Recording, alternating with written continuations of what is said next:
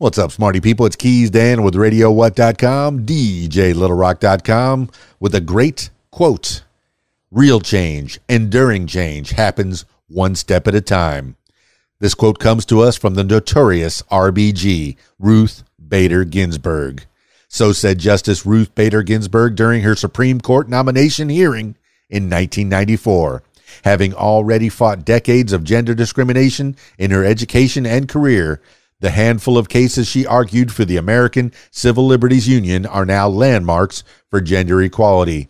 And Ginsburg herself made history as the second ever woman to sit on the U.S. Supreme Court. In her more than 25 years on the bench, she persistently advocated for women's rights in her now famous dissents. Ginsburg's life is a testament to the tenacity, patience, and long term commitment required to be a change maker. As she said in 2001, quote, You know that these important issues are not going to go away, but then you go on to the next challenge and you give it your all. End quote.